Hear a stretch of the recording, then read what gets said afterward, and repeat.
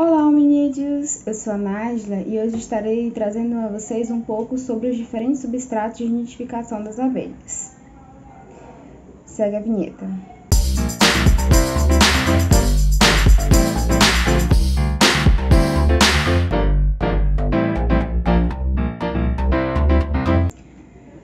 Você assistiu todos os vídeos do nosso canal, você já deve conhecer bastante sobre as abelhas. Portanto, gostaria de contar para vocês um pouco mais sobre a diversidade de casas, de ninhos, das, das mais diferentes espécies de abelhas que existem.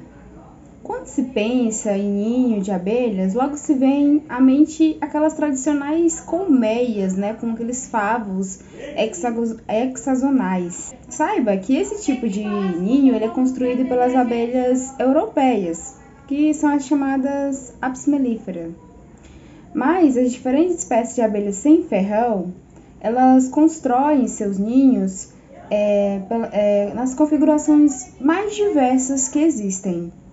A grande maioria, porém, é, dessas abelhas chamadas ASF, abelhas sem ferrão, constroem seus ninhos em cavidades pré-existentes, como ocos de árvores, é, fendas entre rochas, cupinzeiros ou formigueiros, aqueles que estão tanto abandonados como ativos também.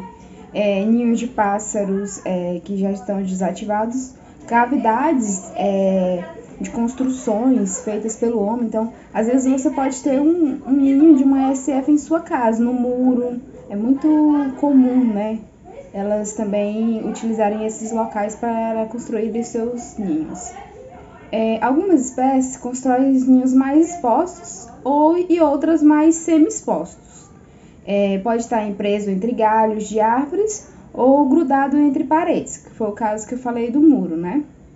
Outras elas preferem construir ninhos no solo, é, em profundidades que podem variar de algumas, alguns centímetros e até alguns metros. Entretanto, a maior parte é, das espécies, a maior parte das espécies, elas constroem seus ninhos em cavidades de troncos de árvores vivas, de espécies e de dimensões das mais, das mais diversificadas.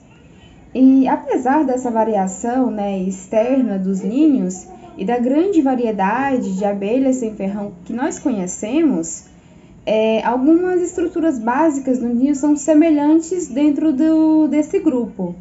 Os materiais utilizados é, pelas abelhas sem ferrão para a construção de seus ninhos são, na maioria das vezes, cera, própolis, cerume, geoprópolis e resina.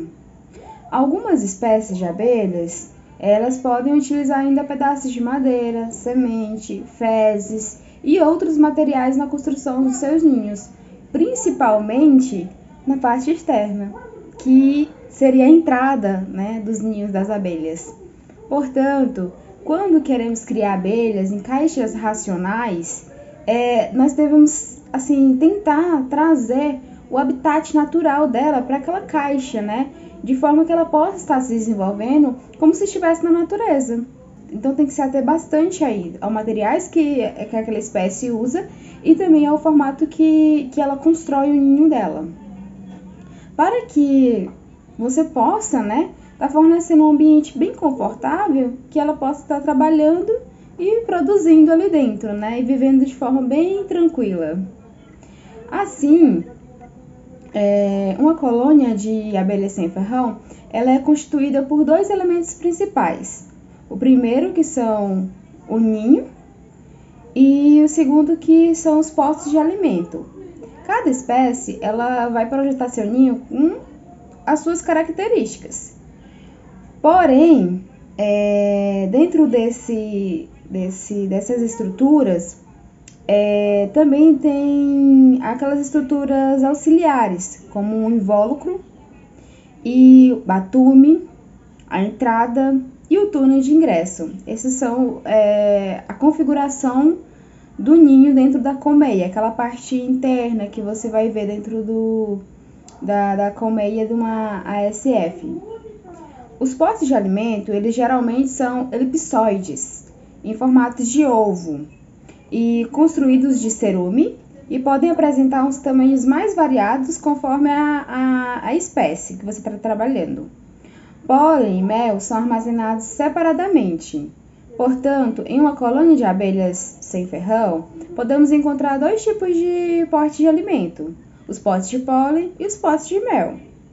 A estrutura do ninho das abelhas sem ferrão é constituída de cerume é, e possui características diferentes conforme a espécie. Pode ser formada por células agrupadas, formando favos horizontais, ou em cachos, quando as células são esparsas ou, e conectadas entre si por pequenos pilares, é, de cerume, no caso. Uma colônia de abelha é conectada ao, ao ambiente exterior por uma porta de entrada. É, essa porta de entrada ela é diversamente associada a mecanismos de proteção e orientação das abelhas. A entrada pode ser construída com geoprópolis, barro ou cera.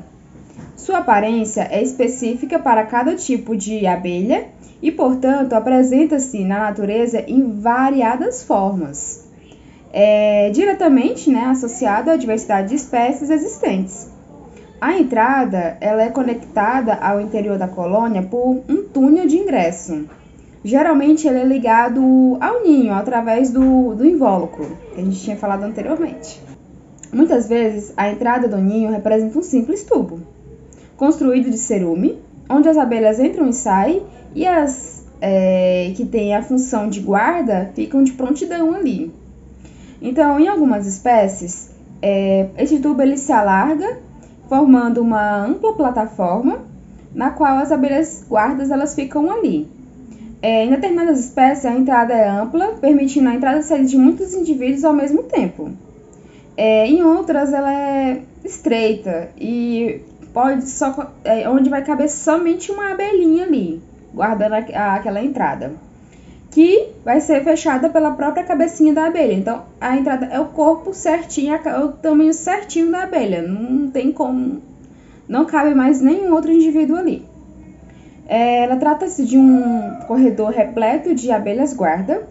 É, e se algum inimigo natural ele conseguir passar pelas sentinelas da entrada, ele precisa enfrentar outro forte sistema de defesa antes de conquistar o ninho e os potes de alimento. Uma curiosidade interessante é que a entrada do ninho das abelhas, que geralmente, né, ela é bem característica para cada espécie ou gênero, ela em muitas espécies é o fator principal para que ela seja identificada. Olha só, né?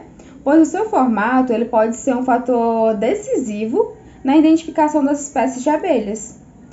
Então, tá vendo, né? É crucial às vezes você tirar uma foto para mostrar para o taxonomista, porque só com, com o espécime você não consegue é, identificar realmente se, é, qual é aquela espécie, né? Beleza, agora vamos falar sobre uma outra parte, que são os batumes. Os batumes são estruturas né, que delimitam o espaço da colônia em uma cavidade.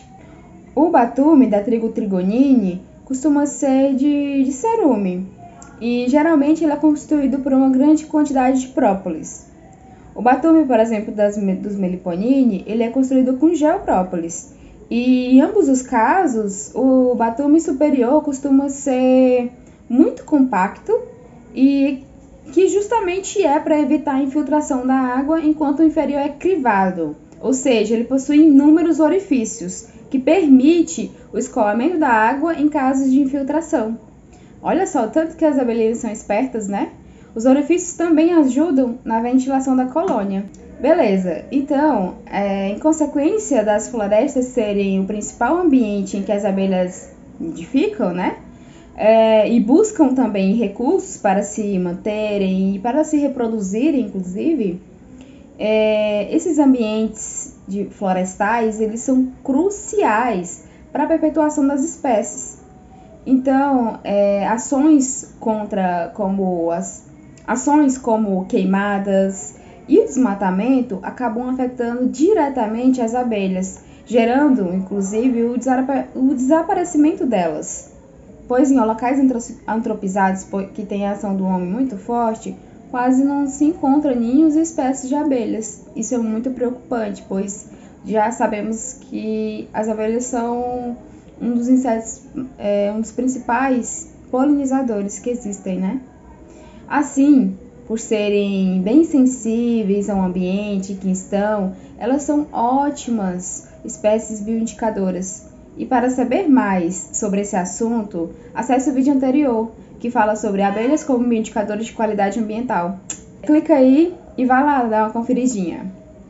É, para que consigamos fornecer um ambiente propício para as abelhas, uma alternativa na zona urbana seria investir na arborização das cidades, com espécies nativas da própria região, pois além dessas espécies estarem fornecendo um conforto térmico aos moradores, elas contribuem para o efeito estético da cidade e seriam chamariz para as várias espécies de abelhas que cada vez mais estão perdendo seu habitat natural. Então é de suma importância ter esse ambiente que forneça, além de uma, uma casa né, para essas abelhas, que também forneça um recurso para ela estar tá se mantendo e se reproduzindo normalmente, né? Então, é isso, hominídeos. Espero que tenham realmente gostado e peço que continuem né, conosco no próximo vídeo, onde iremos falar um pouco sobre o melhoramento genético de rainhas. Super interessante esse assunto. Então, esperem aí para conferir o próximo vídeo com a gente.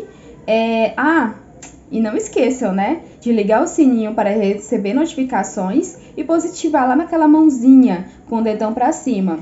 Só assim você nos ajuda a polinizar o saber e vem conosco para poder aumentar a nossa colmeia.